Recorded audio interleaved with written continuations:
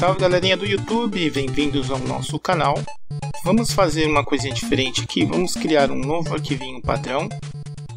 Para mudar um pouco o nosso sistema, vou criar um documento aqui do C++ simples e vou incluir nossa biblioteca Allegro.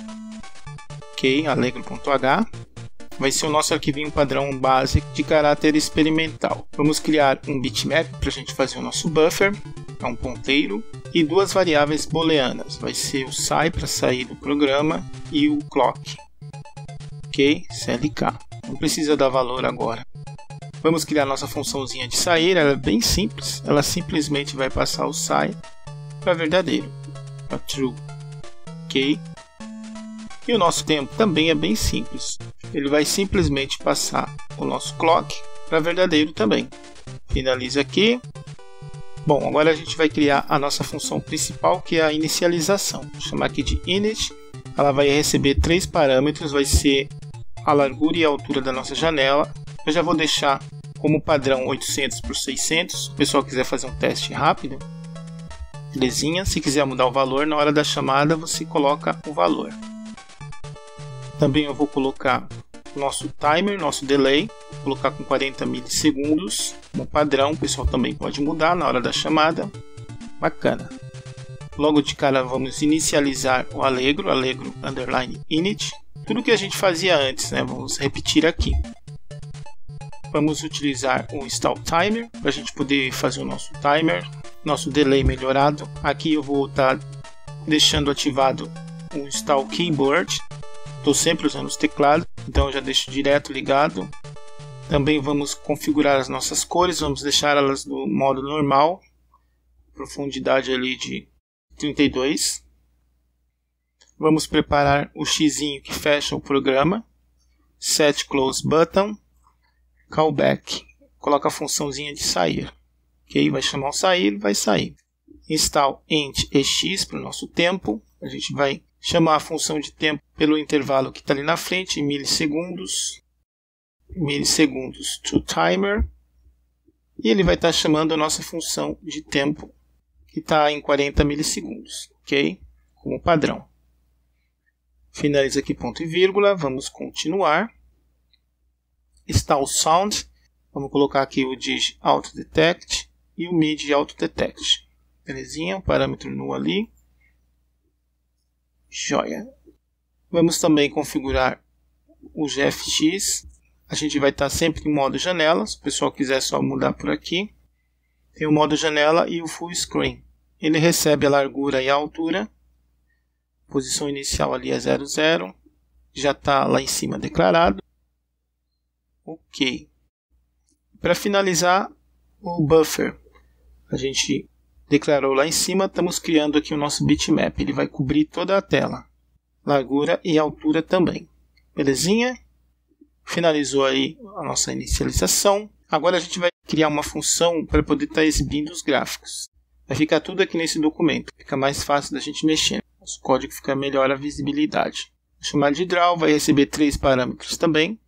Vai ser a cor do nosso background. Vou deixar só BK Gcore também vou inicializar ela com a cor azul, por padrão. Se o pessoal quiser, é só trocar lá na hora de chamar a função. A posição X e a posição Y do nosso buffer. Geralmente ela está sempre em zero, mas eu utilizei no tanque lá para a tela tremer, então é útil, pelo menos nesse caso. O que, que vai ter nela? Eu vou chamar aqui o Draw Sprite para poder desenhar o que vem do buffer na nossa screen, na tela de saída a posição X, a posição Y, está ali tudo com zero. Joia, joia. Vou colocar o nosso timer, passar o clock para falso e ele vai ficar em falso esperando chamar depois de 40 milissegundos. Daí ele sai e limpa a tela. Ok? A gente utiliza o Clear to Color. Vamos limpar o buffer com a cor que está ali, ou a cor que a pessoa pedir. Joia, joia.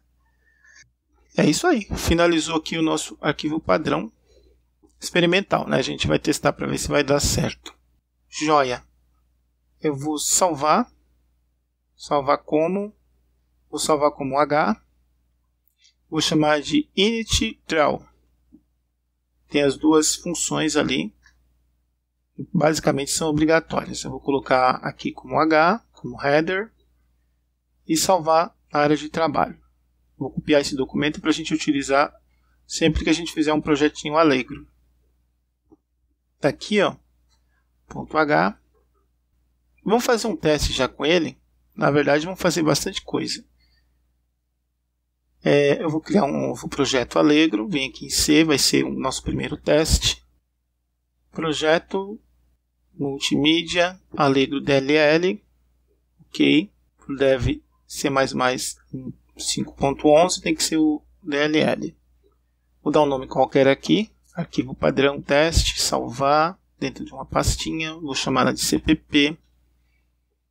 Beleza. Bom, aqui veio o padrão, né? Então a gente vai apagar tudo isso aqui, não vai precisar mais. Vamos deixar só um main.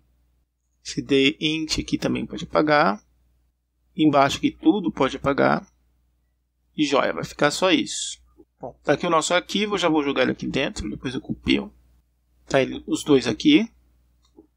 Beleza. Bom, eu posso estar tá adicionando aqui ao projeto. Mas eu adicionei aqui não adicionou nada. Ah, sim. Primeiro eu tenho que chamar nosso documento, né? O include. Include init draw.h. Ok? Já está errado aqui que é com aspas. Coloquei com maior e menor, mas depois eu arrumo. Vamos salvar aqui o nosso documento, nosso main, para fazer um teste. Claro que vai dar um monte de erro, né? Peraí, vou abrir aqui o documento. Que ele não apareceu. Pronto, está aqui agora.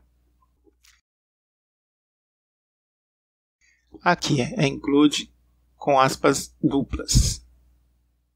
initdraw.h.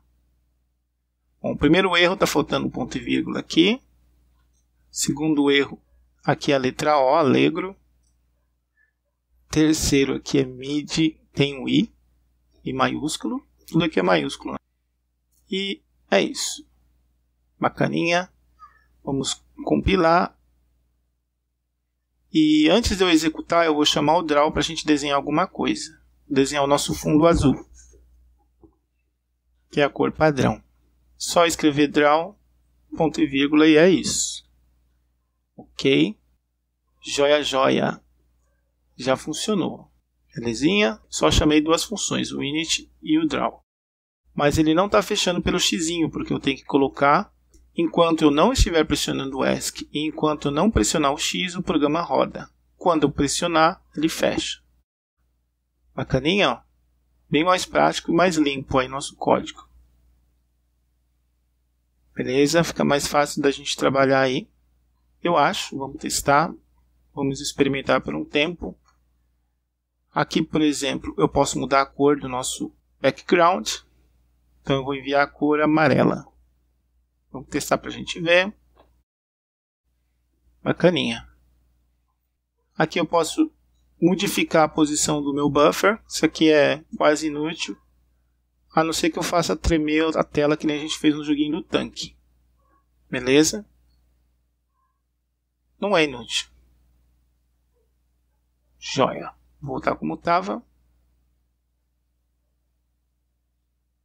Vamos mexer na inicialização também posso configurar ela. Eu posso mudar a largura e a altura da tela. Também posso mexer o timer, né? deixar o jogo mais rápido, mais lento. A gosto aí. Vou colocar na resolução do Nintendinho 256 por 192. Acho que 192 é o Atari. Belezinha? Fez a nossa janelinha bem pequena. A gente controla aqui o tamanho. Eu também posso controlar o tempo, mas não é interessante agora, porque não tem gráfico, nem animação, nem nada. Bacana. Joia. Bom, vamos criar um objeto para a gente ver se tem algum conflito. Eu vou chamar uma imagem. Aqui eu vou pegar o endereço da imagem. Imagem igual a load bitmap. Entre aspas, imagem.bmp. Parâmetro null. E aqui a gente vai pedir para exibir. Vou utilizar o draw sprite. Joia Draw Sprite, Buffer, a nossa imagem, a posição 00, E é só isso, ok? Vai exibir primeiro o desenho, depois vai imprimir. Bom, eu tenho que ter um desenho. Vou pegar um qualquer aqui, chamar de imagem, salvar como BMP. É essa imagem aqui. E vamos testar para ver. Testando. Joia, joia. Exibiu normal. Ok? Que mais? Eu posso pegar simplesmente um personagem. Olha aqui a posição.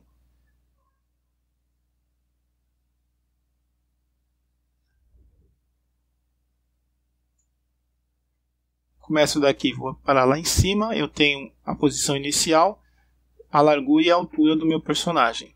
Os quatro parâmetros que a gente pede no Masked Bleed. Então vamos utilizar aqui.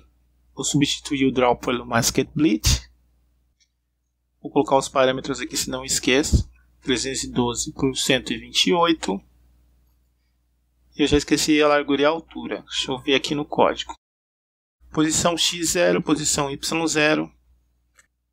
423 por 377. Ok? Assim, primeiro é a imagem e depois o buffer. Masked Plate é o contrário. E é só isso. A gente extrai o nosso personagem. Nada mais simples. Belezinha? Tudo funcionando aí, pelo menos as imagens. A gente vai fazer um sisteminha de gerenciamento de sprite no próximo vídeo. E de uma forma diferente, utilizando estruturas. Beleza?